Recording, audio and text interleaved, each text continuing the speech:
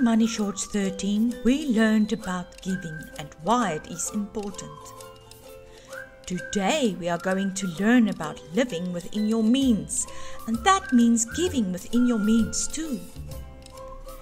When we look at a bank account, we will always see debits and credits. And today, we're going to talk about what the difference is. A debit is something that comes into your bank account that makes your balance higher, money that you receive. So if you receive pocket money or birthday money and you put it in your bank account, it will be a debit and it will increase your bank balance. A credit is something that you pay, something that goes out of your bank account that makes your balance lower. It becomes less than what it was before you made the payment. If you pay a credit, with your debit card, which is a normal savings account, the money can only go to zero on your balance. And then you won't be able to pay anything anymore. But you also get a credit card or a loan at the bank, which means the bank will allow you to go below zero.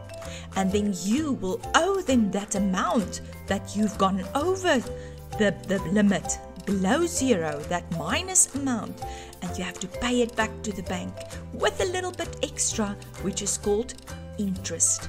And that's a bad thing because it gets more and more each month you owe them, unless you settle it within two months.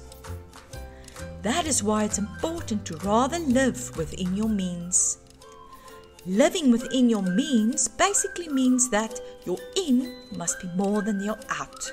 So once you've reached that zero, you must stop. If you cannot afford it cash, you cannot afford it at all. Don't borrow to buy. Hope this made sense. Thank you for watching. See you next time in Money Shorts. Don't forget to subscribe so that you do not miss an episode.